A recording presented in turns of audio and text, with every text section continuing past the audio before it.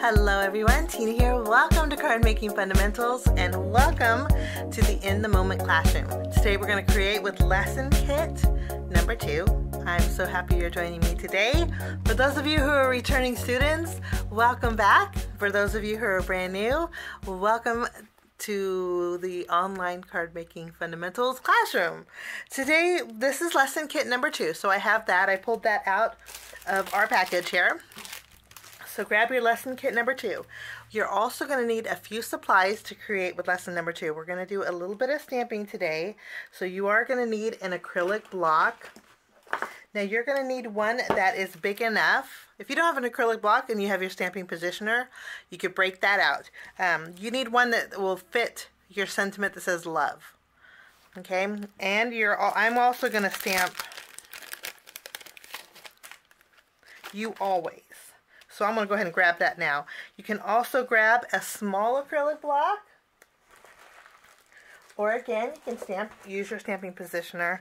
Um, we're going to, sometimes the smaller acrylic block works better for sentiments. And I am going to grab my well, my well-loved love that I have paper on. Okay. Okay. So, we have a stamping block, two if you want to, or a stamping positioner. And you're going to need some baby wipes to clean off your stamp. If you have a chamois, you could use that. Need some baby wipes. And then you're also going to need some black ink.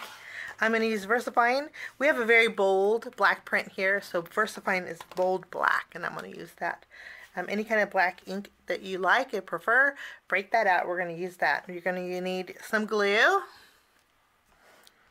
And then you're also going to need your tape runner. And then you're also going to need your scissors. And I think that's it for today's classroom. So, scissors, ink, wipes, blocks, or stamping positioner, glue, and a tape runner. Let's jump in and create a card. Okay, we are going to open up our package. Keep your packages because you can store your cards in them. And we have a embellishment bag here. We're going to start off by stamping our sentiment. We have a piece of white cardstock.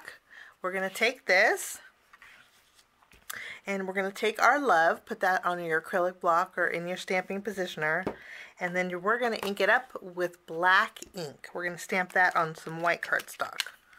So let's go ahead and ink this up. Since this is a large sentiment, um, a stamping positioner works great. I'm going to stamp this towards the bottom in case I mess up. I can stamp it again stamp. This is this stamp set's not a photopolymer. It's actually um, one of the less expensive acrylic stamps, but I always think it stamps really nice. I mean, I never have any issues um, with acrylic stamps. Not yet. Knock on wood. I don't have no wood, but um, I say that now, but I'm going to trim out my love. It just makes it easier for me to fussy cut around, and that's what we're going to do. Take your scissors and leave a little bit of a white border around your love.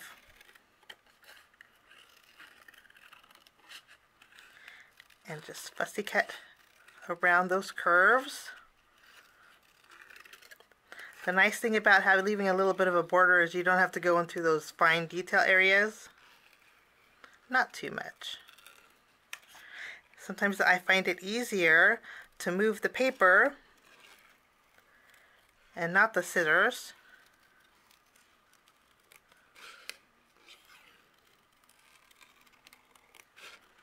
Go around the LO. Go around the curve of the L.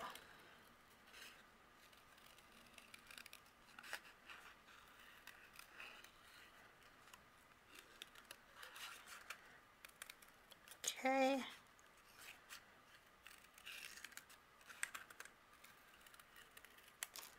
And I didn't go down the, the V, but I think I'm going to. So I'm going to go down and cut around the V. There we go. So there is our love. We'll take this and put that in our little trash bin. I'm going to use my baby wipe and we'll clean off our stamp and we'll put that back. And then while we have our ink out and our stamp out, I'm going to, in your little embellishment bag, there are two banners. You only need one, the fishtail banners. I put an extra one in there because sometimes it's hard to center on these smaller ones. So if we make a, a this is pretty heavy cardstock, so if you make a mistake, you can use the reverse side. If you make another mistake, you got backup. so we're going to take You Always. I'm going to ink that up with my black ink. And I'm going to stamp this in the center of my banner.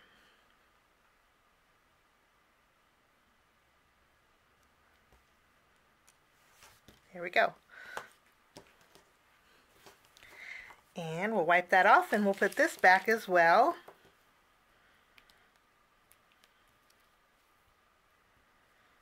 We'll put the plastic and we'll put this back in our envelope.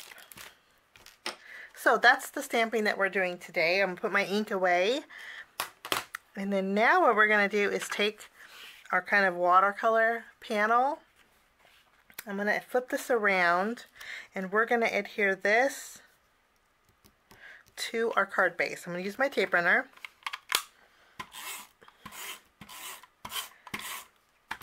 And you want to make sure that your, your cut off watercolor area is at the very top. I think that's going to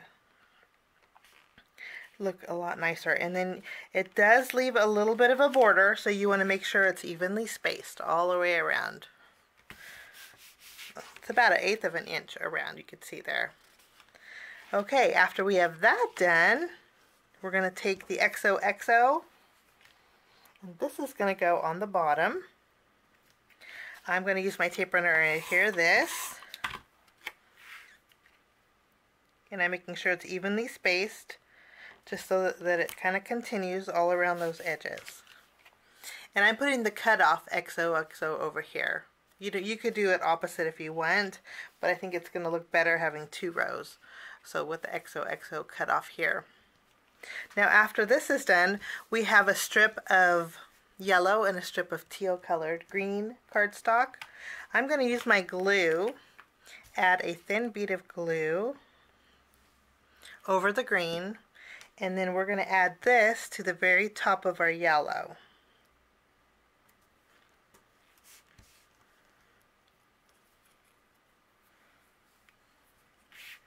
This is going to go over the seam of our both of our papers here and I, before we adhere it I want to measure. And the best way for me to do this is to take a pencil and lightly mark where I want to cut. And then I can use my scissors and just trim this. We're basically just trimming the excess. And I have a little pencil showing, so I'm going to use my eraser and erase that. Okay. After we have this done, we're going to adhere this using the tape runner with the green side on top over the seam. And I'm putting uh, that you have the yellow and you have the green. I'm lining that up with the seam of the XOXO. So we have some of that showing here. You see what I mean?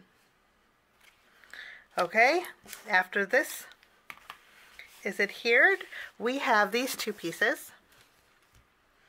Now I, I, I purposely have this for a little, this is something we're going to use for just for stability. We're going to open up our embellishment bag and take everything out.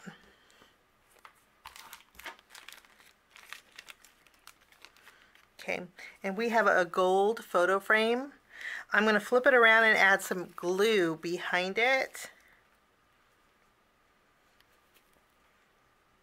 A thin bead.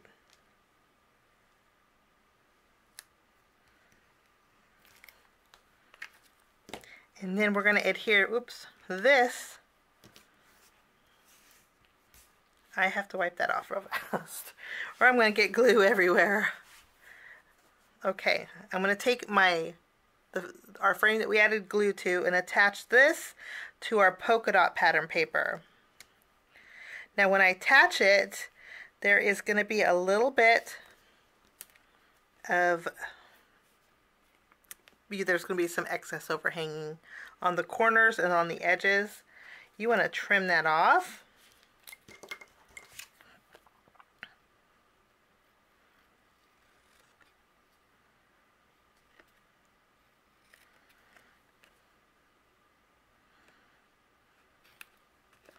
Sometimes it's easier just to put your scissors underneath that frame and then trim instead of going around it.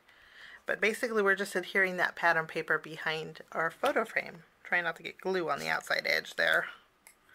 Now once we have our pattern paper adhered, I'm going to flip this around and I'm going to use my tape runner and take this white cardstock and we're going to adhere it to the back. This is, since we're adhering paper, to a, a thin gold frame, this is just going to give us a little weight and we can pop it up with some foam adhesive.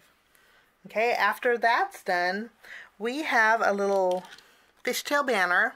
There is a little hole in there. This is where your craft pick will come in handy. Just punch that out. And then we have a small piece of black and white baker's twine. I fold it in half so we have the loopy at top I take the loopy and I thread it through the hole of our tag, pull it through. So that's the loopy side. I open the loopy with two fingers and then grab the tails of it and pull it through. That's just how I do it. It makes it real easy. Okay, so now that we threaded our little banner, I have a gold butterfly. There's a little foam behind it, um, and then there's a little piece of plastic. Just remove that plastic, that plastic there, and then we can adhere our butterfly to that. You want to center it. You could use the, the body of the butterfly and line it up to the point of your, um, of your fishtail banner to center it. I love adding textures to my card. So that is good to go for right now. Okay, we're, we don't need, I, I didn't need my extra banner. So what I like to do is, this is my leftover bag from lesson number one. I'm going to put my banner in my leftover bag. Set that aside here. I'm going to flip over my butterfly here and then we have a small foam circle that's going to go behind our little um, fishtail banner. I'm going to take this and we're going to take one of our paper clips here. I'm Going to grab one of our paper clips.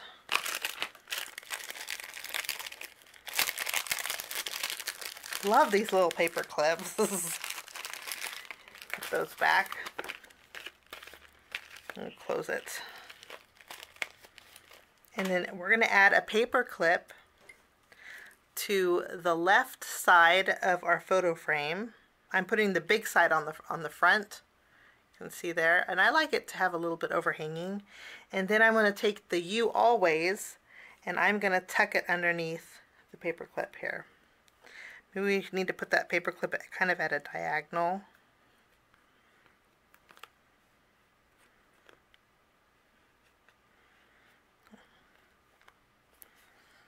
Like so. I think that's going to work out good. Okay, now we're going to flip over our photo frame and we're going to add some of our foam circles.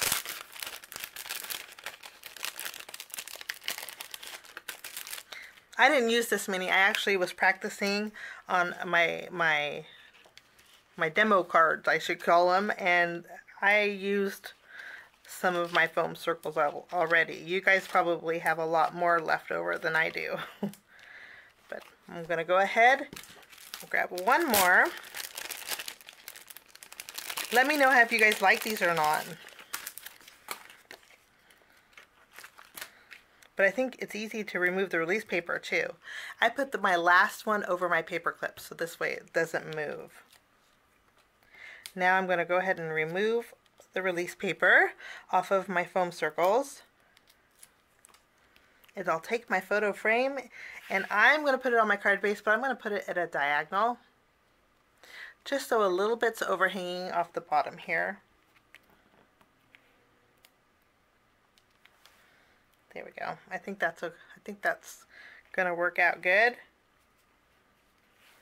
And then I'm going to adjust my U always so it's kind of horizontal. I'm going to take my love. We're going to flip this around and we are going to add that to our photo frame. But I'm just going to use my tape runner to adhere it. I may have some pieces overhanging no, I think maybe on the L. So what I'm going to do is take one of my circles and we'll just trim trim down a couple pieces. And then that way the pieces that are overhanging are the same height as our photo frame. Let's see how this goes. I don't think we're going to need one behind the E. This is going to go straight, horizontal on the photo frame. I guess I didn't need it on the top of the L. I'm going to remove that. Well, maybe not. Maybe we'll just use it for dimension. It was a little hard to remove, but so basically it's in the center of the card. Okay, so we have our love adhered. Now we're going to remove the release paper off of our fishtail banner.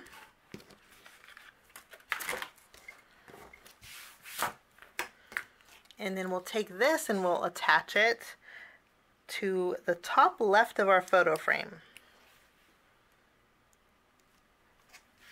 And then we can take this and tie a bow with it.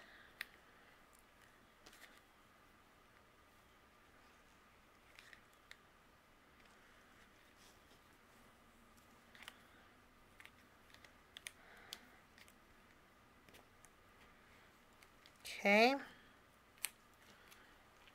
And then I can trim the tails with my scissors. Lovely.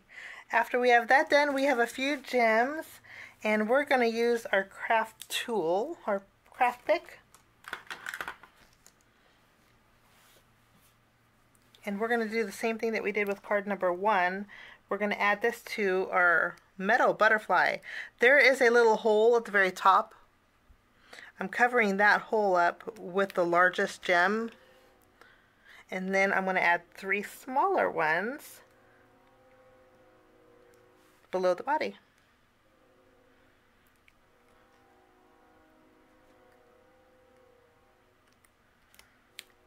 And our last one. We have extra gems in case you lose one.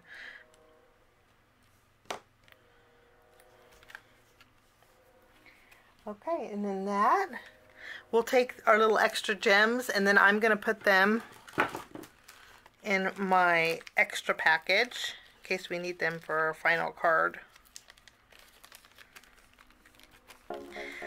And then that finishes off card, card number two or lesson number two of the In the Moment classroom. Kind of a fun card um, and it could be for anybody. hope you enjoyed it. Thank you so much for stopping by. Thank you so much for being a great student. we will see you next time, um, next Friday, same time, same place. And next Friday's classroom will be on May 20th. So I hope you can join me and have a lovely day. We'll see you soon. Have a great weekend. Bye bye.